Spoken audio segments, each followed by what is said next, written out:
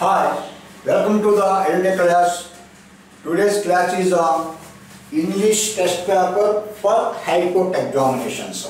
అంటే ఇక్కడ మన కోర్ట్ ఎగ్జామినేషన్స్ ఏముంటాయంటే రికార్డ్ అసిస్టెంట్ కానీ లేదా జూనియర్ అసిస్టెంట్ కానీ టైపిస్ట్ కమ్ కాపీస్ట్ ఎగ్జామ్ కానీ stenographers exam and field assistant examinations ఇవన్నీ కూడా కోర్టుకు సంబంధించిన ఎగ్జామినేషన్లో ఇంగ్లీష్ టెస్ట్ పేపర్ ఏ విధంగా ఉంటుంది అంటే మనం జనరల్గా అనుకుంటాం ఇంగ్లీష్ అంటే గ్రామరే అదే గ్రామర్ని అప్రోచింగ్ అంటే ఒక ఎగ్జామ్లో ఒక టైప్ ఆఫ్ అప్రోచ్లో అడుగుతుంటాడు అనమాట ఇక్కడ ఈ ప్యాటర్న్ అనేది ఈ కాంపిటేటివ్ ఎగ్జామ్ చూసినట్టయితే ఎంటైర్లీ డిఫరెంట్గా ఉంటుంది.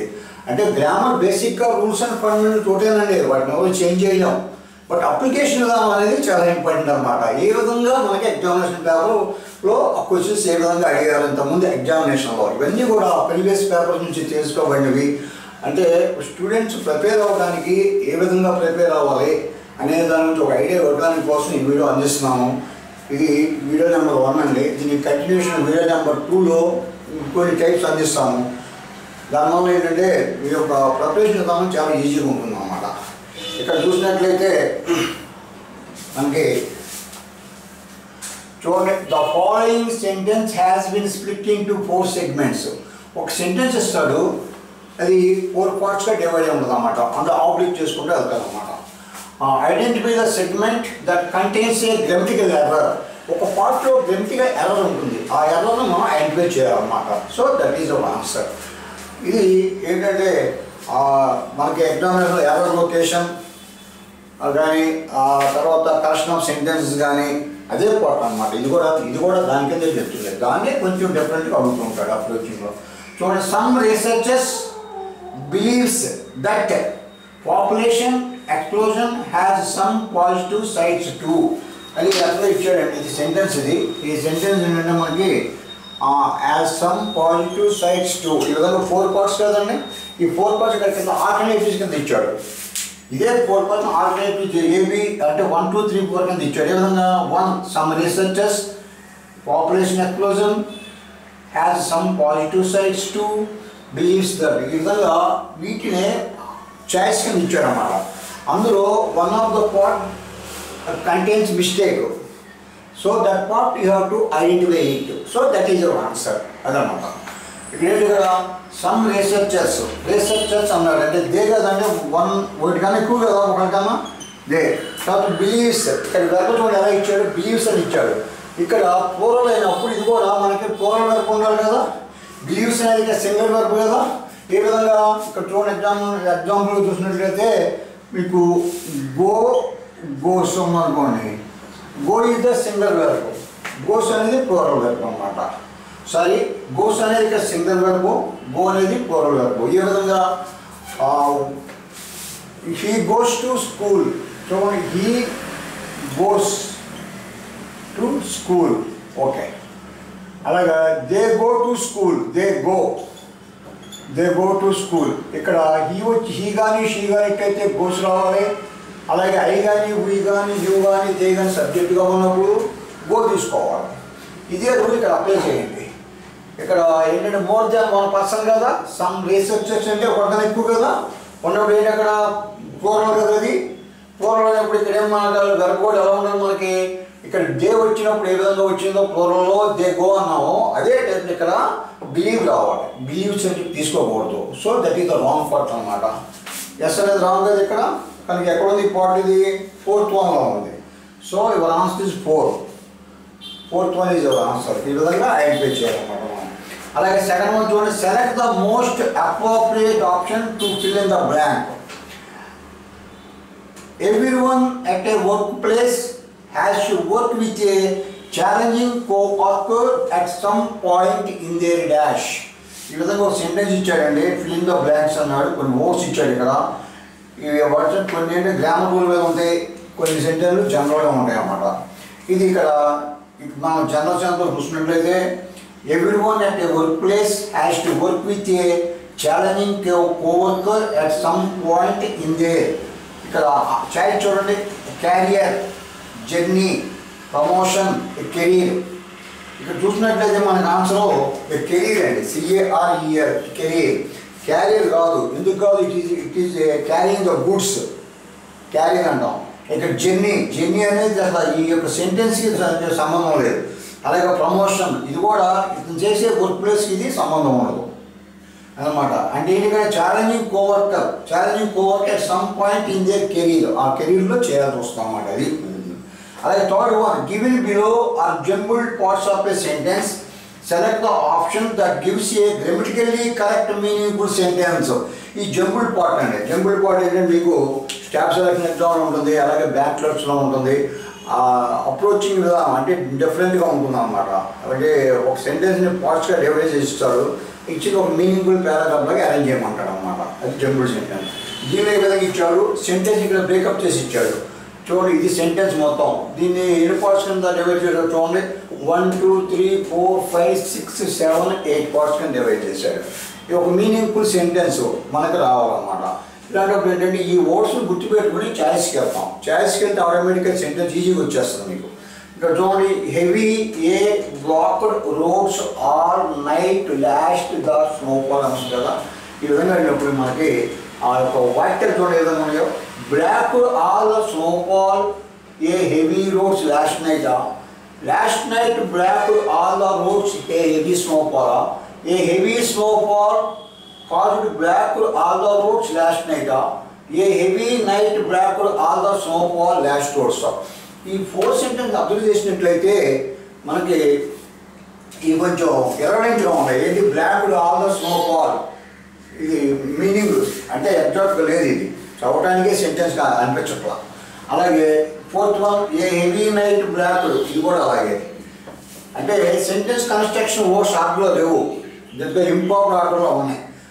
ఈ రెండు చూడండి last night block all the roads heavy snowfall a heavy snowfall block all the roads last night choice second and third చూసినట్టయితే కరెక్ట్గా సెంటెన్స్ మనకి ఈ ఫామ్లో ఉంది. చూడండి a heavy snowfall block all the roads a heavy snowfall caused block all the roads last night so so it use that meaningful sentence దానికి ఇది proper order so third one is your answer first కాదు second కాదు fourth కాదు third one is your answer ఈ విధంగా మనం choice ప్రకారం చదువుకుని వెళ్ళినట్లయితే సెంటెన్స్ కాన్స్ట్రక్షన్ ఈజీగా మనకు అర్థమవుతాం అన్నమాట అదేవిధంగా ఇక్కడ చూసినట్లయితే థర్డ్ వన్ ఫోర్త్ వన్ రండి select the most appropriate option to fill in the blanks select the most appropriate one to fill in the blanks. So she was fined. Dash parking her car dash a no parking area అని ఇచ్చాడు ఇక్కడ మనకి దీని మీద ఉందండి sentence మనకి అది చూడంగానే ఏమవుతుంది మనకి? ప్రపోజిషన్ మీద ఉందన్నమాట. అంటే ప్రపోజిషన్ చాయిస్ మీద ఉంది. ఆ ప్రపోజిషన్స్ మీద ఏంటంటే మనకి simple prepositions compound prepositions phrased prepositions అని చెప్పి ఉండే. ఆ ప్రపోజిషన్ మనకి బేసిక్గా ఫండమెంటల్ నాలెడ్జ్గా ఉన్నట్లయితే వీటి ఈజీగా ఆన్సర్ చేయొచ్చు అనమాట చూడండి షీ వాజ్ ఫైండ్ దేనికి? For parking car for fine for parking car ఇక్కడ ఏంటి? In a no parking area choice చూడండి సెకండ్ వన్ ఈజ్ ఆన్సర్ ఆ తర్వాత అంటే మనం ఏం చూసామంటే ఇక్కడ? కాస్ట్ ఆఫ్ సెంటెన్స్ చూసాం. ఇవి ఈ టైప్లో తర్వాత ఇక్కడ ఫిలింగ్ ఆఫ్ బ్లాంక్స్ మోడ్స్ ఇచ్చి ఫిలింగ్ ఆఫ్ బ్లాంక్స్ ఇచ్చాడు. ఆ తర్వాత జంబుల్ సెంటెన్స్ ఇచ్చాడు. ఆ తర్వాత ప్రపోజిషన్ మీద ఒక బిట్ ఇచ్చాడు. తర్వాత select the most appropriate option to complete the sentence ఇక్కడ ఇది కూడా అదేవిధంగా ఫిలింగ్ ద బ్లాంక్ టైప్ ఇచ్చాడు ఇక్కడ is car broke down because ఇక్కడ ఫోర్ చాయిస్ ఇవ్వబడినవి ఏంటంటే చూద్దాం he had lost all his money something had choked the petrol pipes something was wrong with his passport he was held up in a traffic jam అని ఇక్కడ four choice ఇచ్చారు మనకి. దీనిలో మనకి అప్రోప్రియేట్ చాయిస్ అనేది ఒకటి తీసుకోవాలి. Based on the given sentence is car గోక్ down ఇక్కడ టూ యాక్షన్స్ ఉన్నాయండి. కార్ బ్రోక్ డౌన్ అనేది the first action second action ఇది ఇక్కడ మన సెకండ్ యాక్షన్ ఎందువల్ల అంటే బికాస్ అన్నాడు కదా అది జరిగిన అది జరిగిన తర్వాతే ఇది జరిగింది. అంతేగాని ఫస్ట్ జరగల కార్ అయిపోవాలా ఇక్కడ ఈవెంట్ ఒక సంఘటన జరిగింది. అది జరిగిన తర్వాత కార్ అయిపోయింది. కనుక it come the post action ఇది సెకండ్ యాక్షన్ అన్నమాట. ఇది సెకండ్ యాక్షన్ ఈ రకంగా ఉన్నప్పుడు ఒక సెంటెన్స్లో కానీ టూ యాక్షన్స్గా ఉండే ఫస్ట్ యాక్షన్లో సెంటెన్స్లో వెబ్ ఎలా ఉండాలి? హ్యాడ్ ప్లస్ వెబ్ త్రీగా ఉండాలి. Had plus verb three had plus verb three అంటే ఏంటంటే verb past participle verb PP అంటే థర్డ్ ఫామ్ ఆఫ్ వెర్బ్ అనమాట ఏదో ఇక్కడ ఫస్ట్ యాక్షన్ వరకు హ్యాడ్ ప్లస్ వెబ్ త్రీగా ఉండాలి. అది basic fundamental rule in English grammar ఇక్కడ సెకండ్ యాక్షన్ వరకు ఉండాలి ఎలా ఉండాలి? వెబ్ టూలో ఉండాలి. ఇది బీ టూ రైట్ ఇక్కడ వచ్చేప్పటికి ఏం తీసుకుంటాం చూడండి ఇచ్చిన ఆప్షన్లో he had lost all his money ఇది కాదు కదా. డబుల్ పోవటం కార్ ఇమీడియట్గా అయిపోతుంది కదా. కానీ ఫస్ట్ వన్ ఇస్ రాంగ్ అక్కడ సెకండ్ వన్ థర్డ్ వన్ చూడండి. Something was wrong with his passport ఇది కూడా రాంగే కదా third one fourth one he was held up in a traffic jam ఇది కూడా సంబంధం లేదు కదా. ఇప్పుడు సెకండ్ వన్ అండి సంథింగ్ హ్యాడ్ చోక్డ్ ఇది కూడా had plus verb three had choked the petrol pipe problem ఉండబట్టి పెట్రోల్ పెట్రోల్ అయిపోబట్టి ప్రాబ్లం ఉండబట్టి కార్ బ్రేక్ డౌన్ అయింది. పెట్రోల్ సరిగ్గా సప్లై ఇవ్వలేకపోబట్టి కార్ అయిపోయింది. కనుక ఇక్కడ గ్రామర్గా వెంటనేగా గుర్తు చూసినట్లయితే second one is answer option మనకి? సెకండ్ వన్ అనమాట అలాగే ఇది గ్రామర్ ఇది గ్రామర్ పాయింట్ బేసెస్ ఇచ్చారు. అలాగే six one select the most appropriate word for the given group of words ఏమున్నాయండి? The branch of a medicine the branch of medicine dealing with cancer the branch of medicine dealing with cancer ఇది one word substitution అండి ఈ one word substitutes ఆ bank exam కన్నా కూడా ఎక్కువ bank exam పెద్దగా ఉండదండి. స్టాఫ్ సెక్షన్లో బాగా అడుగుతాడు తర్వాత మిగతా కాంపిటేటివ్ ఎగ్జామ్ ఏపీబీఎస్ ఎగ్జామ్లో కూడా అడుగుతాడు బాగానే. ఇక్కడ కూడా మీకు ఒక ఫోర్ టు ఫైవ్ బిట్స్ ఉన్నాయండి. ఇందులో ఈ కోర్ట్ ఎగ్జామ్స్కి సంబంధించి. కనుక ఇక్కడ వన్ వర్డ్ సబ్స్టిట్యూషన్ అనేది బాగా నేర్చుకోవాలి మీరు. అది ఎవ్రీడే ప్రాక్టీస్ చేస్తే చాలా ఈజీగా ఉంటాయి.